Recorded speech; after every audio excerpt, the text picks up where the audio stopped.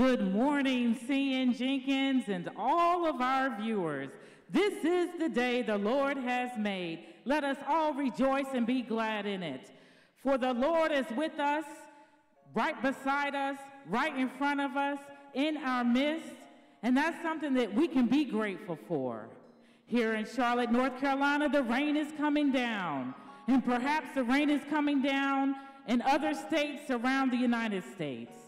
And so we want to bring some hope and some light and some sunshine of Christ right to you where you are. You have entered into the space of worship this morning, and we are all grateful.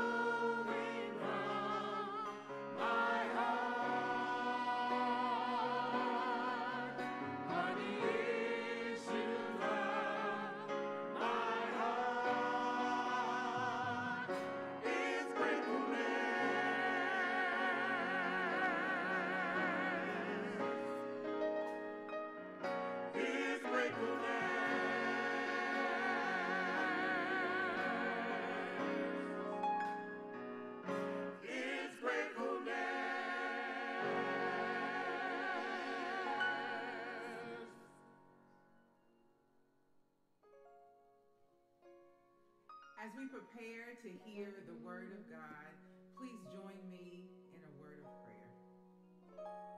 Holy and merciful God, we are truly grateful for all the things that you have done in our lives. We are thankful for your presence with us. We are grateful for how you lead and guide us.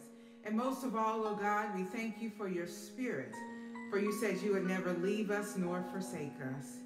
You are always watching over us. You are always directing our path. You are always correcting us as we trust in you. So now, oh God, as we go to your word, as we go to your holy text, we pray that you, would open up our eyes to see and our hearts to receive and our ears to hear what your spirit will reveal to us. We thank you for this opportunity to just be in your presence whether that be via Zoom, whether it be via Facebook, oh God, whether it just be is in our living spaces. We ask for your revelation and your truth at this time. Thank you, oh God, for feeding us until we want no more. This is our prayer. In Jesus' name we pray. Amen. My siblings, I invite you to go with me into the scripture this morning as we are reading in the Old Testament text. The scripture for us this morning is coming from Genesis chapter 17, verses 15 through 19. And then we're going to skip over and go to the chapter 21, verses 1 through 2. 1 through 2. Hear ye the word of the Lord. God also said to Abraham, As for Sarai, your wife, you are no longer to call her Sarai. Her name will be Sarah. I will bless her and will truly give you a son by her. I will bless her so that she will be the mother of nations. Kings of peoples will come from her. Abraham fell face down. He laughed and said to himself, Will a son be born to a man a hundred years old? Will Sarah bear a child at the age of 90? And Abraham said to God, If only Ishmael might live under your blessing.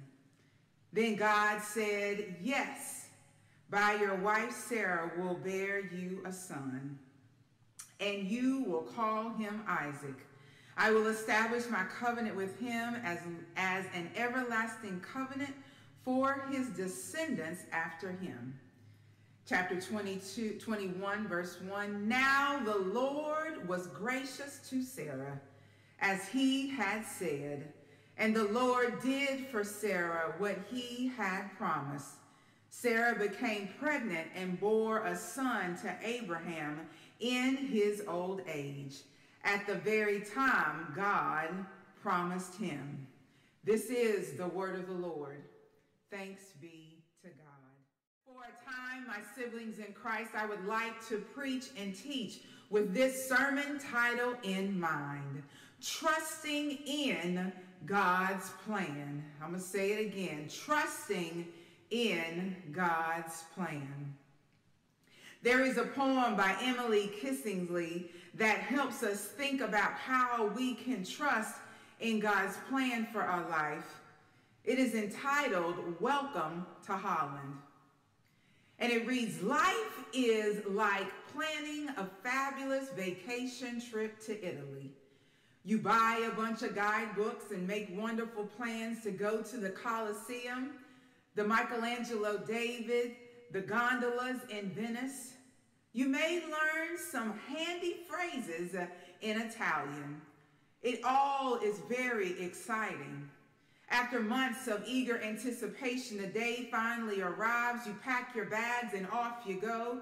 Several hours later, the plane lands. The stewardess comes in and says, Welcome to Holland.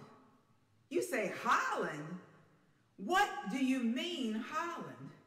I signed up for Italy.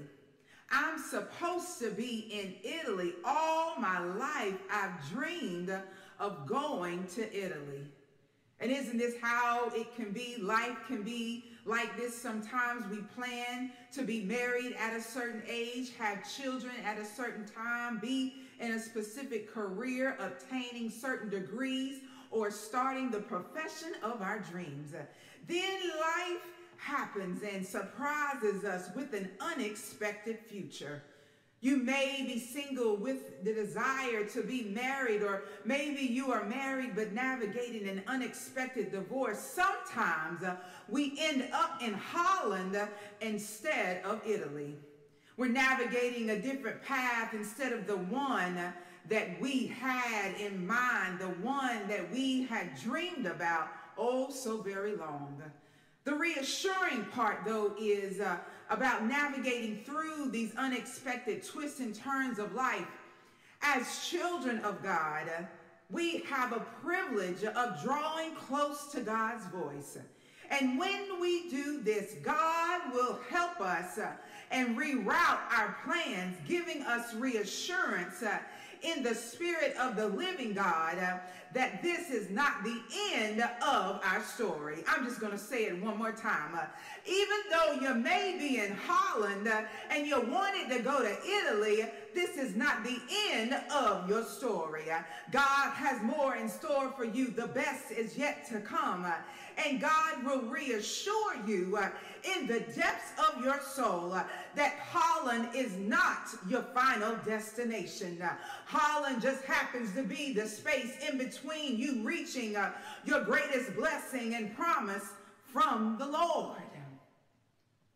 And Holland is where, y'all, that Sarah and Abraham find themselves. They were navigating through the highs and lows of infertility. It wasn't what they had in mind. It wasn't what they dreamed of. Holland, for them, represented an unexpected place. A place of potential feelings of abandonment by God and fear and inadequacy and potential doubt, questioning whether God would really do uh, what God had said.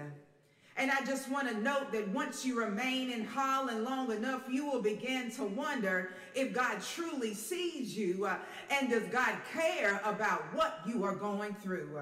Or you may wonder if God rerouted you to Holland as a punishment or for making a wrong decision or a missed opportunity.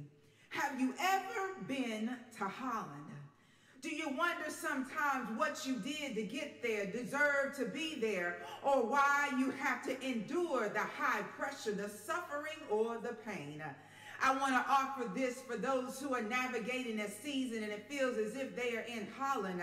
They didn't plan it, they didn't hope for it, and they shown up didn't pray for it through all that you are navigating now, I, I, want you to hear this one truth right here. Miracles still happen in unexpected places. Oh, that's your shout right there. I said miracles still happen in unexpected places. If that agrees with your spirit, just type ah, amen in the chat. Miracles still happen in unexpected places. Sarah didn't plan to struggle with infertility, but she navigated to the best of her ability for 90 years. Uh, then, when it seemed as if all hope was lost, uh, an unexpected place of infertility, uh, God declares, I can still use you. And God says to Abraham, I will produce something, a legacy out of your union. And through this unexpected situation, Sarah would bear a son. Miracles happen in unexpected places. And I want you to hear that even when you are rerouted to Holland and the pain or suffering you are enduring uh, seems to be too much, uh, God can still birth something uh, new and undergird you uh, with legacy uh, even in the unexpected place. I think someone needs to type hallelujah or shout it just where you are. You know that God is working out for your good uh, even in the unexpected place. Yes, Sarah took matters into her own hands and gave her servant Hagar to conceive and bear a son for her. But this is the realization. Uh, the promise of God uh, was on Sarah's barren womb, uh, and God wanted to birth something out of what others saw as insufficient. Oh, that's your shout right there. Someone has said that you are insufficient, uh, that you are not good enough. Uh, well, I came to tell you that God wants to burst something through you uh, that will surprise this world and let them know that you serve an almighty God who's able to do exceedingly and abundantly above all that you could ever ask or think. Hallelujah. Miracles happen in unexpected places. Don't give up on your situation. Trust God's plan. God's promise for your life can be birthed out of what others think are impossible. How many of y'all know that there is nothing that is impossible with God? With God, all things are possible. The blessing comes by faith and waiting on the glory of the Lord to be revealed. And I don't know what God has told you uh, in the midst of this season of pandemic and political pressure and job insecurity and turmoil. But what I want you to hear in this scripture is uh, that God is able to produce God's promises uh, even in impossible situations. Uh, yes, the debts don't have to be stacked up right for your good. Uh, the odds don't always have to be in your favor. Uh, God will make a way in the wilderness and streams in the wasteland. God will turn your story around and bring beauty from ashes. God's promise for your life can be birthed out of the impossible. But when we must ask the question, this is the question that we must ask and pose uh, to each other. What do we do when life does not turn out the way we had in mind? How do we keep trusting God in the midst of it all and believing God's plan for our lives? So I would like to suggest three ways that we can keep trusting in God's plan. Number one is learn the blessing of the meantime. Learn the blessing of the meantime. In the meantime is a familiar phrase that is commonly used to represent or describe a period between or before something happens or before a specific other period ends. For example, one might say, uh, the doctor says that I have a, a broken bone and it's going to take at least six weeks to heal. In the meantime, from the broken bone to the healing, I must wear a cast and elevate my leg. The meantime usually indicates a period of waiting and working towards a goal, hoping and enduring. Maybe it's enduring the pain in order for you to get to uh, the promise of where you're supposed to go. The meantime is the middle stage, the space or time before the blessing comes. Sarah and Abraham are navigating the meantime. After 90 years for Sarah and 100 years for Abraham, they learned the blessing of the meantime being number one. We may make our plans, but the Lord determines our steps. Hallelujah. Come on, somebody. Shout with me.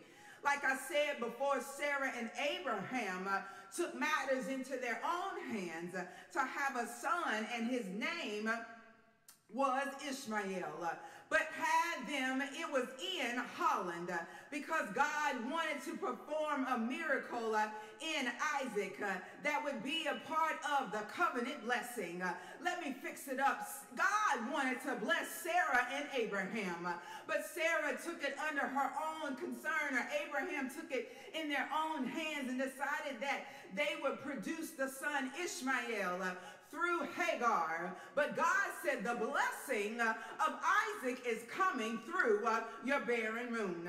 Holland was exactly where God wanted them to be to experience uh, the power of God. Uh, the blessing of the meantime is that God orders your steps even uh, when the promise tarries uh, or takes just a little while. It was 90 years for Sarah. It might be three years for you. Uh, but the bottom line is, uh, in the meantime, uh, keep trusting that God is ordering your steps, that God is directing your path, and God will get you there right on time. and this is hard to hear because, you know, we don't want to wait, y'all. We don't want to go through pain and suffering. And when things uh, for us don't line up the way that we think that it's going to go, we wonder, God, are you there? But I want to tell you that the Lord is ordering your steps. The blessing of the meantime is that God has not forgotten you. And when you can't trace God, know that God is behind the scenes working things out for your good. Don't waste time in the meantime pouting, uh, but submit your prayers and requests to God. Then rejoice uh, in the goodness and grace of our Lord, uh, who will always turn things around right on time. Your situation may seem bleak and unusual to the point that you wonder if God can do anything with it. Uh, I am here to remind you that God doesn't use the usual, common, and ordinary things of this world to produce his purpose. God uses what the world would call foolish uh, to shame the wise. Uh, and let me just prove it to you by calling a couple of names. Uh, y'all know that the Lord used Peter and he had a temper. He used David in a magnificent way and he had an affair. He used Martha and she was a worrier. Noah and he was a drunk. Gideon who was insecure. And Miriam was a gossip. And then in this text, uh, he uses a woman that has a barren womb. God chooses the foolish things of the world to shame the wise, and God chooses the weak things of the world to shame the strong. If you feel that you are weak, God can use you. If you believe that you are foolish, God can use you. Submit to the Lord, be humble and faithful, serving the Lord with gladness. If you, and then if you feel as if you can't do anymore, keep on trusting in the Lord. And God will fulfill God's purposes through you. Let us be reminded that we are the chosen people, a royal priesthood, a holy nation, God's special possessions that we are God's workmanship created in Christ Jesus for good works, which God prepared beforehand that we should walk in them. Walk in your blessing, walk in your good works, walk in those gifts that God has deposited in your spirit. Y'all, the blessing of the meantime is knowing that impossible odds set the stage for God's amazing miracles and the Lord will order your steps through it all. When the odds are stacked up against you, you are positioned to experience a miracle of divine proportions. I just want to say that one more time. When the odds are stacked up against you, you are positioned to experience a miracle of divine proportions. Keep on trusting God's plan. Then, number two, we go, how do we trust in God's plan? Number two is be patient in waiting. Say that with me or type it in the chat. Be patient in waiting. Y'all, we know that that's easier said than done. Amen. One night I was serving as the on call chaplain at Atrium Health Main. It is a level one trauma center, which means we would get the worst of the worst trauma cases. I was paged late in the evening to be with a family who had brought their young child to the hospital in critical condition. Y'all, there was a heaviness on my spirit as I got the call that the child was sick. I was called by the nurse to provide spiritual support to this family. And y'all, on most calls, I wouldn't know the faith background of the family. And as a chaplain, that didn't matter. My goal for ministry was to provide comfort and support.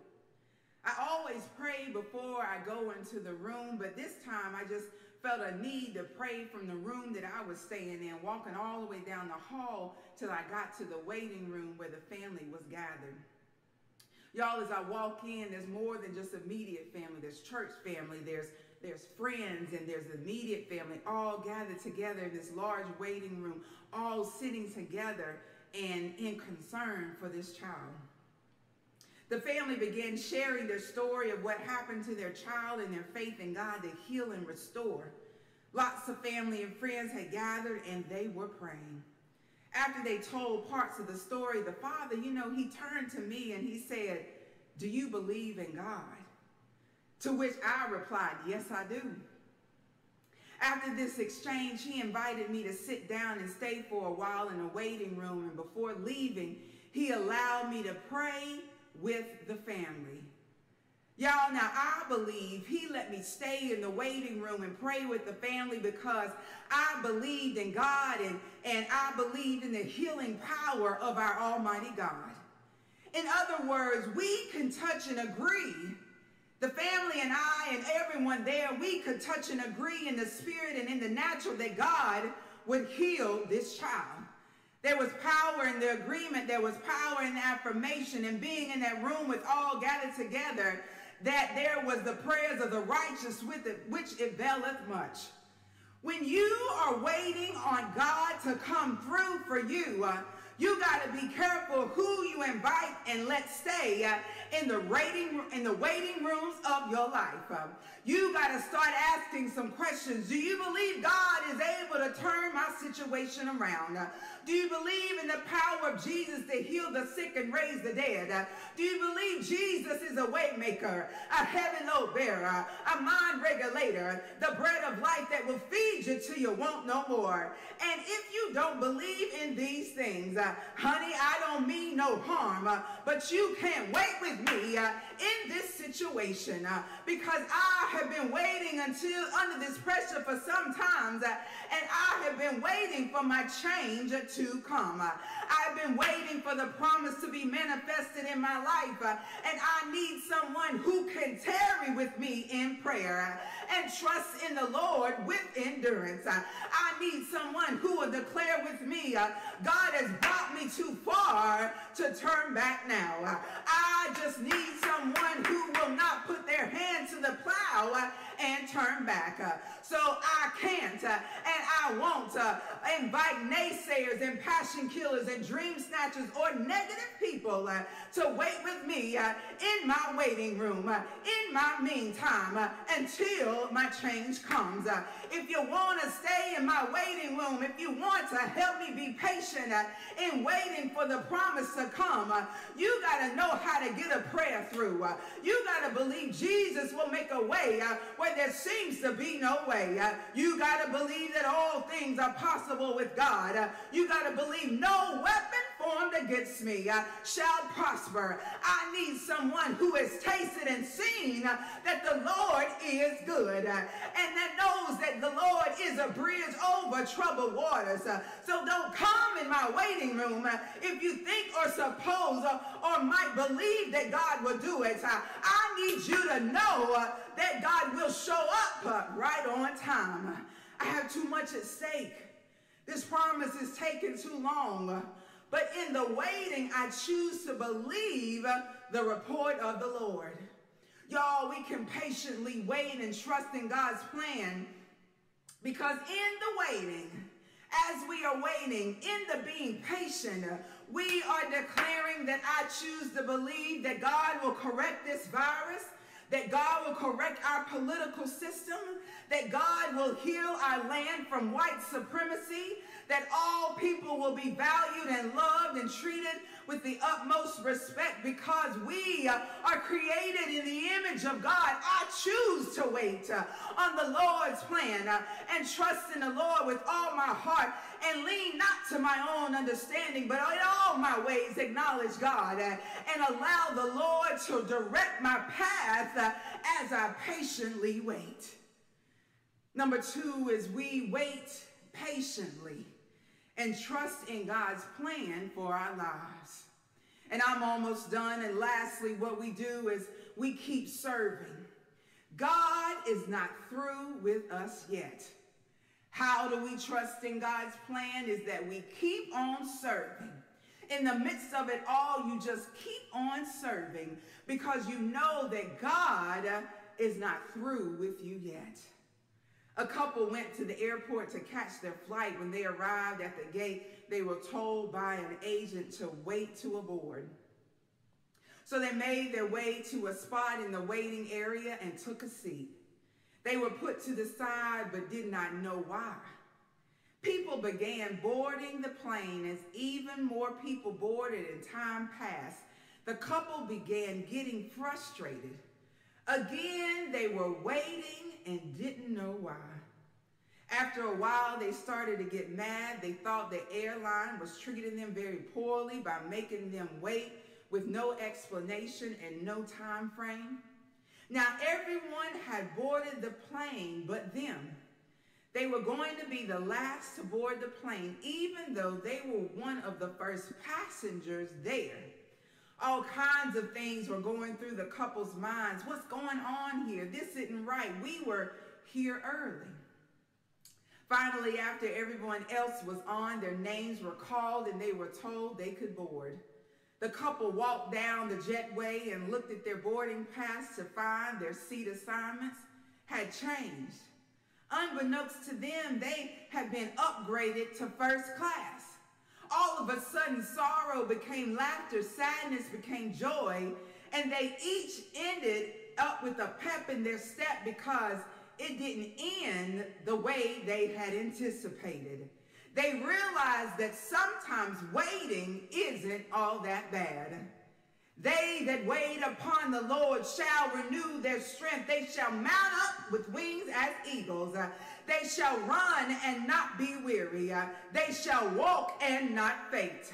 Whatever you are going through, hear me, siblings in Christ. Uh, whatever you are going through, wait on the Lord, uh, and God will bump you up to first class. Hallelujah.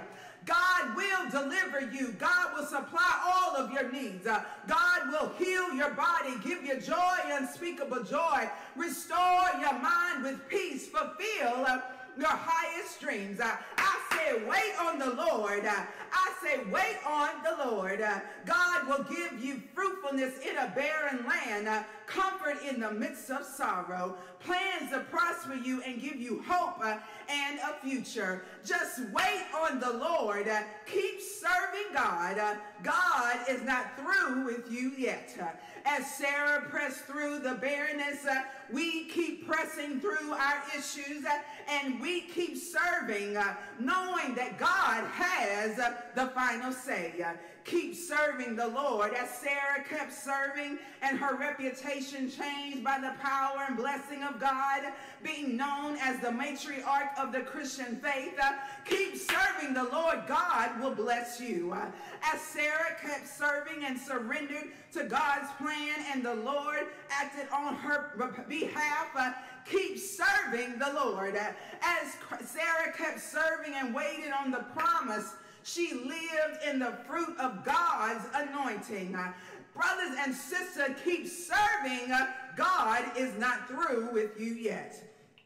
The pandemic is not the end. The racism is not the end. The relationship troubles are not the end. The school hassles uh, are not the end. Do not make a, a temporary situation uh, permanent. Let me say it again. Uh, do not make a temporary situation permanent. God is not through with you yet. In the meantime, build what God has in mind and keep trusting in God's plan. Y'all, we have to be like Noah. You know, Noah built the ark. No one had seen anything like it before, and it was a strange idea with unique dimensions, but Noah built what God had in mind, and God sustained Noah and his family through the flood. When you build what God has in mind, God will work the details out as you are faithful to follow. When God called Joshua to lead the people into the promised land, Joshua produced what God had in mind. And even if it seemed strange, God, Joshua went forward with God's plan. And God delivered the promised land into their hands as they followed and were obedient. You know, I don't know what God has whispered into your spirit, but I know that God's plan is what's best for us. And when we are faithful to do what God says do, God will work the details out. God will open up the doors and God will give you exactly what you need to reach the promise. All you have to do is receive what God has in store for you. And as I close out this sermon, I just want you to open your hands. And I just want you to stand in a position of receiving what God has for you. God has ordered your steps. God has manifested God's will in your life. And now you just have to stand in a position of surrender, of opening up your heart to receive what God has for you, of opening up your mind to just understand and just be and live in fruitfulness or faithfulness to what God wants to give you. It may not be what you have in mind, but it's going to bless you abundantly beyond understanding in God's favor. So, my brothers and sisters, when we trust God's plan, it will always turn out for our good. Be faithful over a few things, and God will make you Lord and ruler over many. Trust in the Lord, and God will direct your path. And build what God has in mind. Live in the meantime, blessing, be patient in waiting, and keep serving God. The Lord is not through with you yet. In the name of Jesus Christ. Amen. Thank you again for joining us this morning. We love you. We love you. We love you. And as our youth told us, I'm going to do a special thing this morning. It's called sign language.